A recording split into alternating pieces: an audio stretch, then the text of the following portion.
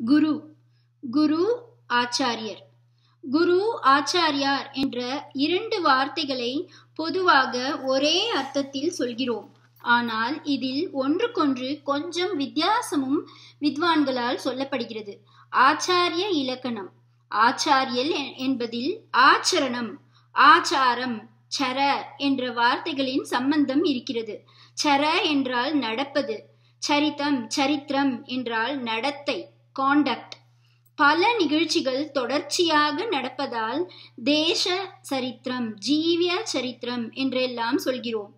நின்றபடி இல்லாமல் ஒரு ஒழுங்கில் தொடர்ந்து போவதுதானே நடை. இப்படி ஒரு வழிப்படி நடப்பதுதான் சரித்திரம். ஒரு வழியில் ஒழுகுவது என்று தமிழில் சொல்வார்கள். ஜலம் ஒழுகுகிற போது தாரையாக ஒரு தொடராகத்தானே விழுகிறது.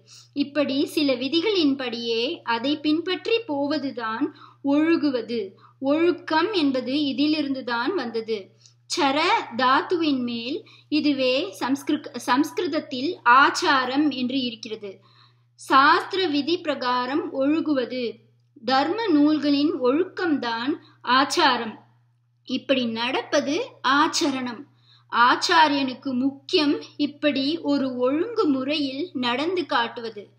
பேசிக்காக அடிப்படையாக சகல ஜனங்களுக்கும் சாதாரண தர்மங்கள் என்பதாக அஹிம்சை சத்தியம் முதலிய ஒழுக்கங்கள் இருப்பதோடு நம் ஹிந்து மதம் ஒன்றுக்குள்ளேயே அநேக சம்பிரதாயங்களுக்கு தனி சாஸ்திரங்கள் ஏற்பட்டு அவற்றில் தனித்தனி ஒழுக்கங்களும் சொல்லியிருக்கிறது. வைஷ்ணவர்களுக்கு என்று ஒரு ஆச்சாரம் மாத்வர்களுக்கென்று ஒரு ஆச்சாரம் சைத்தன்யர் நிம்பார்கர் இப்படி பல பெயரில் தனித்தனி ஒழுக்கங்களும் பழக்கங்களும் வழக்கங்களும் இருக்கின்றன. சைவர்களுக்கு என்று தனி சாஸ்திரங்கள். அவர்கள் இன்னின்ன இப்படி இப்படி பண்ண வேண்டும் என்ற விதிகள் இருக்கின்றன. சைவத்திலேயே சித்தாந்த சைவம் வீர சைவம் காஷ்மீரி சைவம் பாசுபாதம் என்று பல விரிவுகள் பல பிரிவுகள். வைஷ்ணவத்துக்குள்ளேயும் இப்படி ஏகாந்திகள் பாஞ்சராத்திரிகள் வைகானசர்கள் என்று சப்செக்ஷன்ஸ் உண்டு. ஒவ்வொன்றுக்கும் ஒரு செட் ஆஃப் ரூல்ஸ் விதியமைப்பு முறை இருக்கிறது. அத்வைத்திகளுக்கு ஒரிஜினலாக ஸ்மிருதிகள் சொன்ன ரூல்கள் இருக்கின்றன. இப்படி ஏதாவது ஒரு சம்பிரதாயத்தை சாஸ்திரோக சாஸ்திரோத்தமாக தானே அனுஷ்டித்து காட்டுகின்றவன் தான் ஆச்சாரியன். ஆச்சாரிய பதத்துக்கு டெஃபினிஷன் லக்ஷணம் சொல்கிற ஸ்லோகம் சில பேர் கேள்விப்பட்டிருக்கலாம். ஆச்சினோதி ஹி சாஸ்திரார்த்தாத் சாஸ்திரார்த்தாத் ஆச்சாரே ஸ்தாபயத்யபி ஸ்வயம் ஆச்சரத்தே யச்ச தம் ஆச்சாரியம் பிரசக்ஷதே. எவன் சாஸ்திரத்தின் அர்த்தங்களை ஆராய்ந்து பிறருக்கு அதை போதித்து என்பது இங்கே அண்டர்ஸ்டுட் சொல்லாமல் சொன்னது. எவன் சாஸ்திரத்தின் அர்த்தங்களை ஆராய்ந்து பிறரை அந்த சாஸ்திரங்களின் விதி பிரகாரம் நடக்க பண்ணுகிறார்களோ? இப்படி பிரத்தியாரை ஒரு ஆச்சாரிய ஆச்சாரத்தில் நிலைநாட்டுவது மட்டுமல்லாமல் என்பதும் அண்டர்ஸ்டுட் தானே அந்த வழிப்படி நடந்து காட்டுகிறானோ அவனே ஆச்சாரியன் எனப்படுகிறான் என்று அர்த்தம். பிரிசெப்ட் பிராக்டிஸ் ரெண்டிலும் என்று சொல்வது இதைத்தான். அதாவது வாய் உபதேசத்தால் மட்டுமல்லாமல் அல்லது கையால் புஸ்தகம் எழுதுவது மட்டுமல்லாமல் தன்னுடைய வாழ்க்கை உதாரணத்தாலேயே ஒரு சம்பிரதாயத்துக்கான ரூல்களை நடத்தி காட்டுகிறவனே ஆச்சாரியன். ஆச்சார அனுஷ்டானம் என்று ரெண்டை சேர்த்து சொல்கிறோம். சாஸ்திரம் சம்பிரதாயம் என்று ரெண்டை சொல்கிறோம். தமிழில் பழக்க வழக்க ஒழுக்கம் என்று மூன்றை சேர்த்து சொல்கிறோம். இந்த எல்லாமே இன்டர் கனெக்டட் ஒன்றுக்கொன்று சம்பந்தப்பட்டது. சாஸ்திரத்தில் அநேக இடங்களில் சொல்லியிருக்கிற ரூல்களை வாழ்க்கையில் அனுஷ்டித்து காட்டுவதற்கு ஏற்ற விதத்தில் கோடிஃபை பண்ணியே ஒவ்வொரு சம்பிரதாயமும் உண்டாகி இருக்கிறது சாஸ்திரங்களில் பல தினுசான கொள்கைகள் இருக்கிற போது ஒவ்வொரு விதமான கொள்கையை மட்டும் அவற்றிலிருந்து பிரித்து ரூபம் கொடுத்து சம்பிரதாயங்கள் ஏற்படுகின்றன. ஒரே வேத மதத்தில் இப்படி சங்கர சம்பிரதாயம் ராமானுஜ சம்பிரதாயம் என்றெல்லாம் பல வந்திருக்கின்றன. சாஸ்திரம் சம்பிரதாயம் என்று சாதாரணமாக சொல்லும்போது வேறு விதமான ஒரு பாகுபாடும் நினைக்கப்படுகிறது. அதாவது சாஸ்திரம் என்பது சட்ட புஸ்தமாக புஸ்தகமாக எழுதி நிலையாக வைத்துவிட்டது.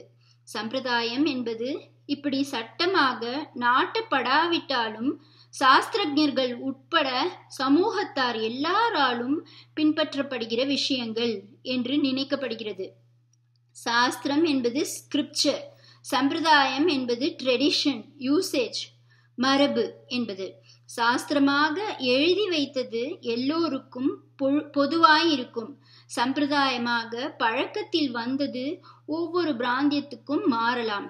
குலாச்சாரம் தேசாச்சாரம் என்று குடும்பங்களுக்கிடையில் பல சீமைகளுக்கிடையில் மாறுதலாய் இருக்கலாம் ஒரு வழியை சட்டத்திட்டங்களால் காட்டி கொடுத்து அது ஜனங்களுக்கிடையில் நீண்ட காலம் வழங்கப்படும் போது வழக்கம் ஆகிறது.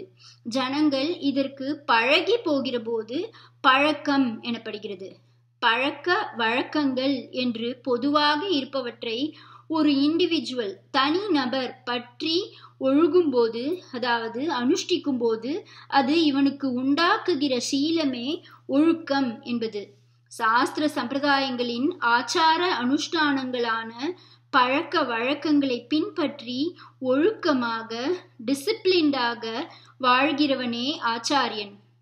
அவனே ஜென்ரலாக எல்லோருக்கும் ஏற்பட்ட தர்ம நியதிகளோடு கூட ஒரு குறிப்பிட்ட சம்பிரதாயத்தின் சாஸ்திரங்களை அறிந்து அனுஷ்டித்து காட்டுபவனாக இருக்க வேண்டும். தன்னளவில் இப்படி இருக்கிறவனை மட்டும் ஆச்சாரியன் என்று சொல்லிவிட முடியாது. உங்களுக்கே தெரியுமே ஆச்சாரியன் என்றால் உடனே சிஷ்யன் என்பவனும் இருந்தாக வேண்டும்.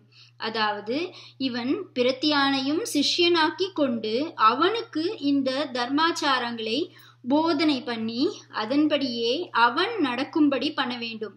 போதனை செய்ய வேண்டும் என்பதால் அவன் கற்றறிந்த வித்வானாக இருந்தாக வேண்டும். அப்போதுதான் சந்தேகங்களை போக்கவும் எதிர்வாதத்தை கண்டனம் பண்ணவும் முடியும். இவனிடம் ஒரு சிஷ்யன் நீண்ட காலம் பயிற்சி பெற்றதால்தான் இவ்வளவும் கற்றுக்கொள்ள முடியும். இந்த காலத்தில் ஆச்சாரியர்கள் என்பவர்களின் இடத்தில் ஆசிரியர்கள் பள்ளிக்கூட டீச்சர்களும் காலேஜ் ப்ரொஃபஸர்களும் இருக்கிறார்கள். ஆனால் இங்கே சொந்த வாழ்க்கையிலும் சரி போதிப்பதிலும் சரி தர்மங்களின் சம்பந்தமே இல்லாமல் இருக்கிறது. பழைய காலத்திலும் பௌதீக வித்தியைகளையும் கலைகளையும் சொல்லி தருகிற ஆச்சாரியர்கள் இருக்கத்தான் செய்தார்கள்.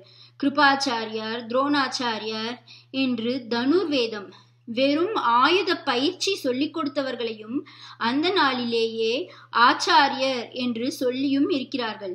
இவர்கள் எல்லாரும் கூட தர்மசாஸ்திர சம்பிரதாயங்களை அறிந்தவர்களாகவும் சொந்த வாழ்க்கையில் பின்பற்றி தங்களுடைய வித்வத் திறமை இவற்றுக்காக மட்டுமின்றி நடத்தைக்காகவும் ஆச்சரணைக்காகவும் மதிப்பு பெற்றவர்களாகவும் இருந்திருக்கிறார்கள்.